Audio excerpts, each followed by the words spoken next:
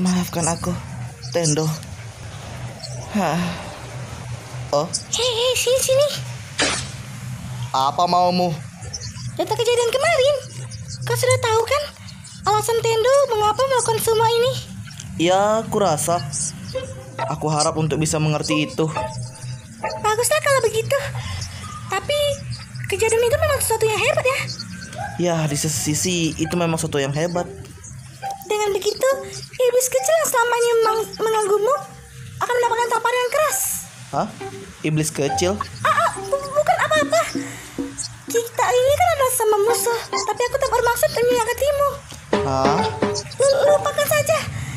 Yang terpenting Aguri adalah orang yang baik, tetapi dia bukanlah pacarmu. Hanya itu.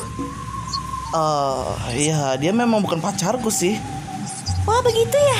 Kau sudah bergerak sejauh ini ternyata. Tentu saja. Kenyataannya kan memang dia bukan pacarku. Tentu saja.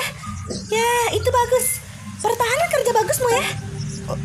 Oh, oh.